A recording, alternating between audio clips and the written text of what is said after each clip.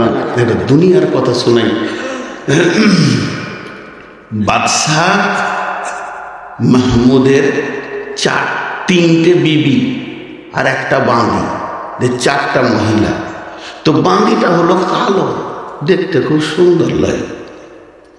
আর বিবিগুলো হলো রাজার বেটি, রাজার বউ। ওর বাপও রাজা, ওর বংশ বাদশাহ। তাহলে ওরা দেখতে আরও সুন্দর। তো বাদশাহ সময় পেলি খালি বান্দিটার সাথে ফিস ফিস করে গল্প করছে আর ফিক ফিক করে হাসছে। বউ বউগুলার সাথে অত গল্প করছে না।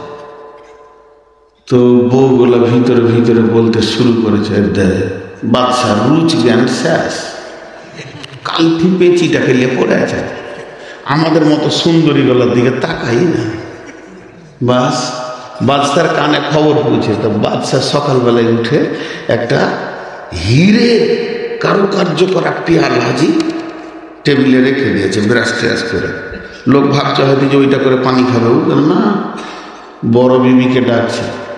বড় বিবিকে ডাকার পর বলছে, খাদিজা, এই পেয়ালাটা তুমি ভেঙে দাও। খাদিজা পেয়ালাটা নিল। বাদশাহ মাথা টাথা গরম হলো নাকি? এটা দেড় লক্ষ টাকা দাম। এটা কম দামি মাল নয়? এটাকে আপনি কেন সকালে ভাঙতে বলছেন? রেখে দিল। হাবিবা, পেয়ালাটা ভেঙে দাও। সেও বলল বাদশাহ কি ব্যাপার? বুঝে আসছে না আমাদের। এত দামি মালটাকে কেমন করে আপনি ভাঙতে বলছেন? তৃতীয় নম্বর বউকে বলছে, রহিমারে, পেয়ালাটা ভেঙে ও তোরে তুলে মুচকি হেসে বলছে বাদশাহ এমন কথা কেন? সকালে কি কোনো বিঘার নিয়েছে নাকি ও নামিয়ে দিল।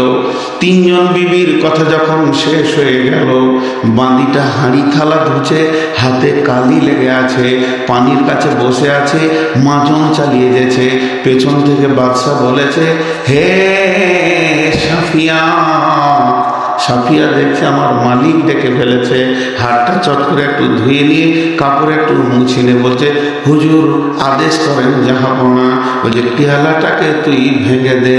আর যখনই পেয়ালাটা ভেঙে দে বলেছে এই রকম করে ধরলো আর মার্বেল পাথরের উপরে ফেলে দিল আর একদম ধারাস করে টুকরো টুকরো হয়ে চলে গেল।